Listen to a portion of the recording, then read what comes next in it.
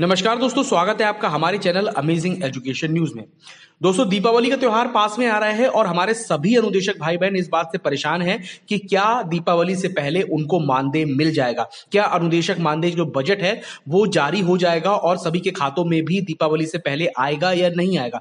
इस संबंध में इससे पहली वाली वीडियो में मैंने आपको पूरी अपडेट दी थी, जो कि हिमांशु वर्मा जी के द्वारा दी गई थी, कि बहुत जल्द ही अनुदेशकों का मानदेय का बजट जो है वो जारी कर दिया जाएगा और ये बजट जो है वो दो महीने का आएगा। अब मैं इसमें आगे आपको एक और अपडेट देता हूँ। ये अपडेट जो है वो हिमांशु वर्मा जी के द्वारा ही दी गई है और उन्होंने इस अपडेट में साफ़ तौर पे बताया है कि अनुदेशक और शिक्षा मित्र दोनों का ही दो माह का जो बजट है, वो शासन से जारी हो जाएगा और ये मानदेय बजट जो है सोमवार या मंगलवार तक हर हाल में सभी जिलों में भी आ जाएगा। देखिए, आपकी स्क्रीन पे ही है, उनके द्वारा की गई अपडेट है ये पूरी। अनुदेशक मानदेय बजट अपडेट।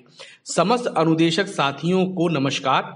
समस्त अनुदेशक साथियों को अवगत कराना है कि अनुदेशक एवं शिक्षा मित्र मानदेय दो माह का बजट आज शासन से जारी होकर आज ही विभाग को प्राप्त हो जाएगा। अतः अनुदेशक मानदेय बजट सोमवार या मंगलवार तक हर हाल में सभी जिलों में प्रेषित हो जाएगा। आपका हिमांशु वर्मा। तो यहाँ पर दो बातें हैं। आपको हर हाल में सोमवार या मंगलवार तक जो आपका मानदेय है, उसकी पूरी अपडेट पता चल जाएगी कि वो जो है जारी हो चुका है और जिलों में भी आ जाएगा।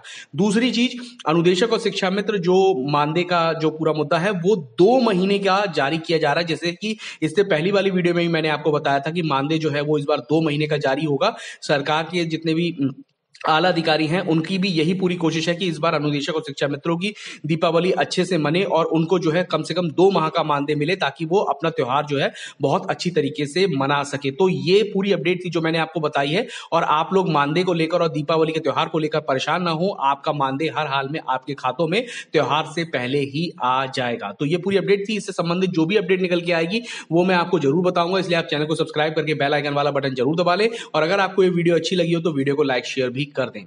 धन्यवाद।